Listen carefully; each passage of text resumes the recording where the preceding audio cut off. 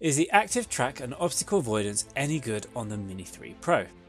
Today I have put it through multiple tests. I'm going to see uh, what's good and what's bad about it, uh, what its limits are, and at the end we're going to see if I can get it through this woodland with a hill inside, um, through one side and out the other side, without it crashing. So let's get started.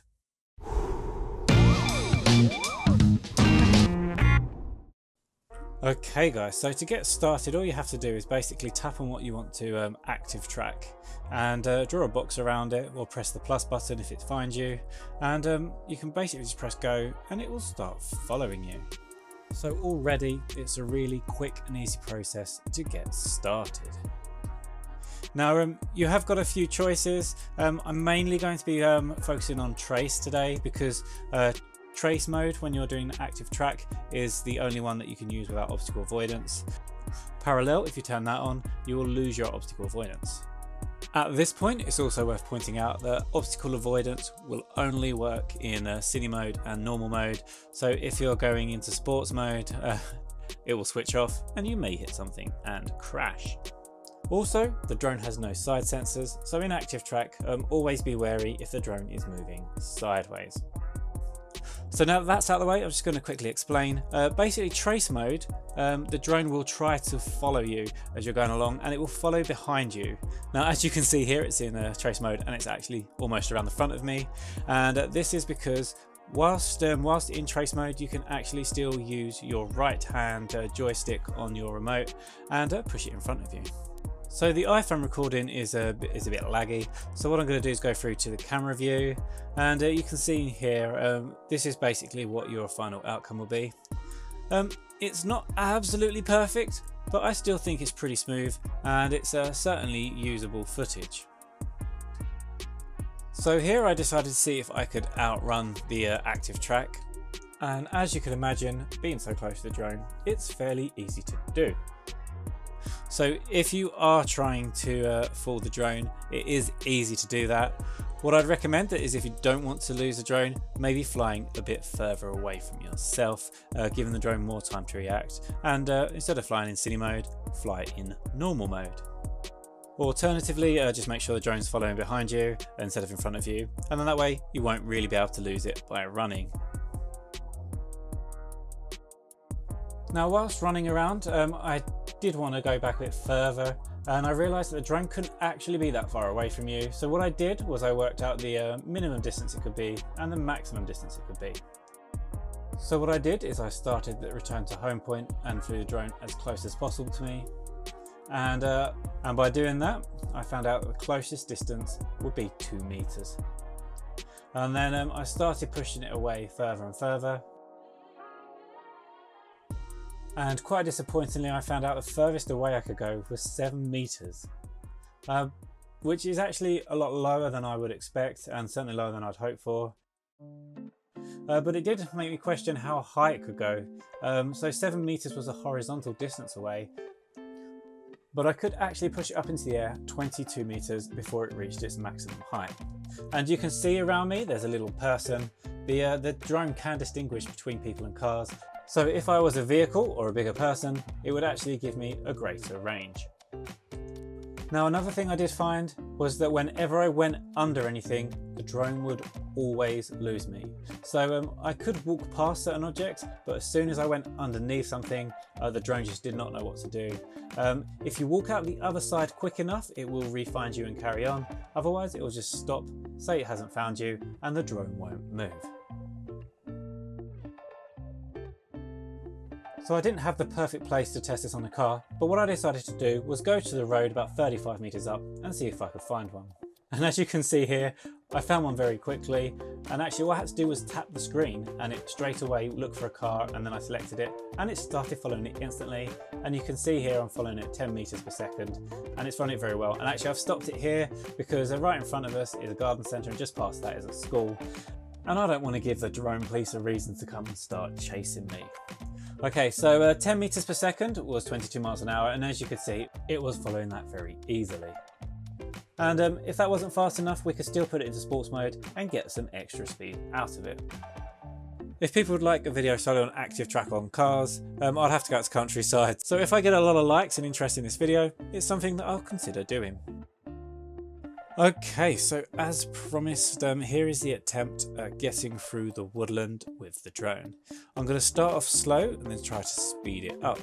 Now, um, in a minute, you're going to see orange and red um, things appear like in a circle around me. These are going to be um, the obstacle avoidance being detected. So anything like the orange on screen now, uh, that's something that's been detected, but it's a bit further away. And if something's red, it's something that needs to be reacted to a bit more urgently.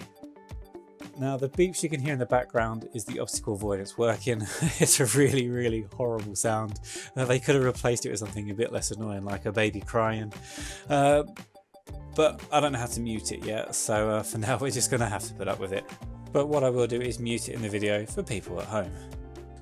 Now, um, it actually got stuck between these two trees, it didn't want to pass them, which I thought was quite odd. There seems to be plenty of space for it to get through, but obviously it's a bit challenging for the drone.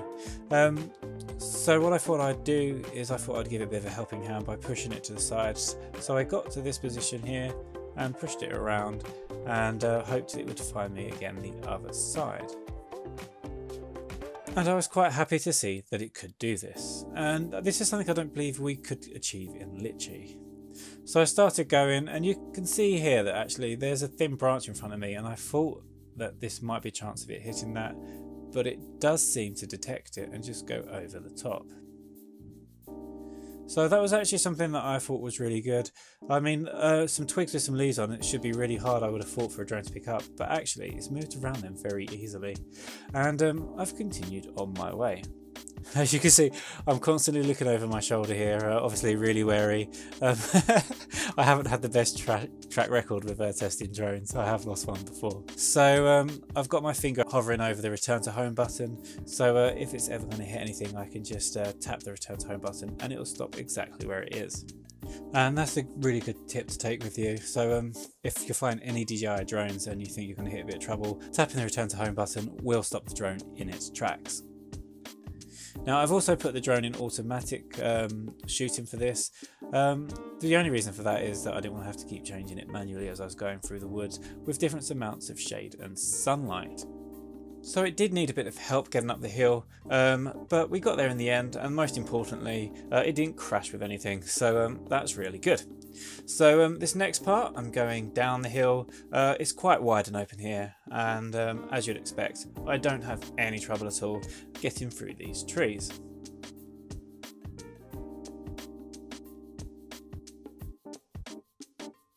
So once we'd come out, I decided to see if it would lose track of me if I went and hid behind this tree. Well, I say hid, I'm just going to walk around it.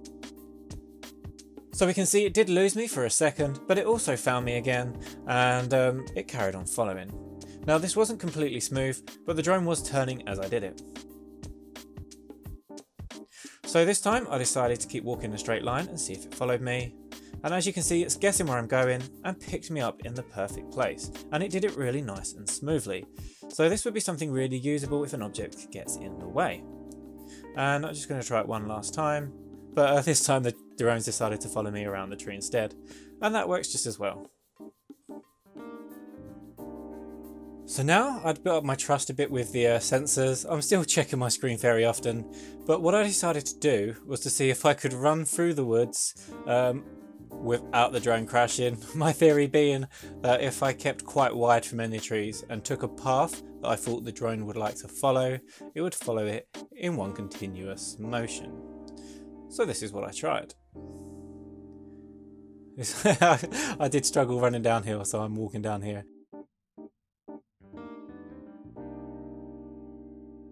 And um, so far so good. And this were the trees that got stuck on last time. So I've gone um, slightly through the middle. And it's worked perfectly. So I did actually manage to get a really nice smooth um, smooth bit of footage when I went quite fast through the woods. So that was something that um, I was really happy with.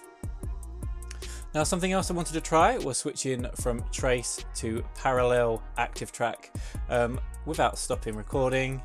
Um, obviously this could be really useful so I've tried that and as you can see it still works so um, what you can do is in trace you can move the drone around you and then switch over to parallel and um, the drone will stay in the same spot and you don't have to worry about moving it anymore. Uh, the one thing that it does say is that obstacle avoidance does not work in parallel um, active track so make sure that uh, you know what's around you and you're in a nice wide open space. Now here I'm still playing with a parallel active track and we can see I can still easily move the drone around me side to side using the right hand joystick. So something else I wanted to try out was um, going through some sort of uh, rocky terrain, climbing over this branch here. It's got a chance to lose sight of me and also there's lots of things to crash onto that are quite small.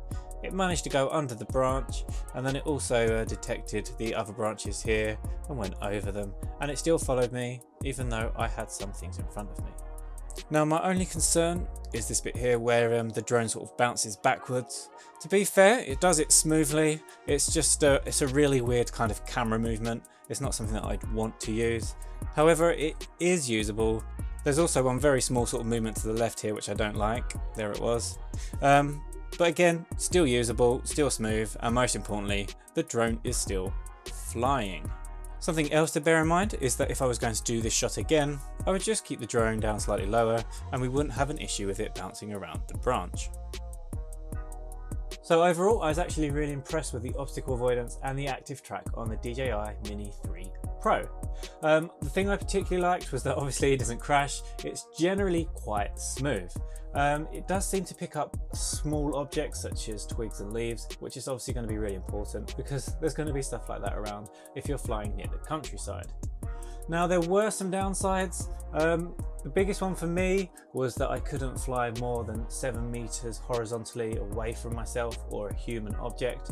Um, I really feel it should be a lot further than that and hopefully that's something that will be fixed in the future. Now the other thing was it didn't tend to find me if I went underneath anything. So obviously if it's sort of 20 meters up in the air, um, it's not to be able to dive underneath the tree to follow me. But if it's just a few meters, I really would hope that it could just drop down and get past any obstacles um, that are about that kind of height. Now I was really impressed with the fact it could lose me and pick me up. Now there is a moment where it does have to sort of find me again or get back on track, which doesn't look great. However, um, all the footage is usable and as long as you bear the limitations in mind, it's something that you can work around. As I say, I think you could get some really high quality video. I was pushing this to the limits. So going forwards, if I ever need to use the active track, um, I now know the best way to use it and um, I think I can get some really professional footage out of it. So let me know what you think and would you be happy with these results?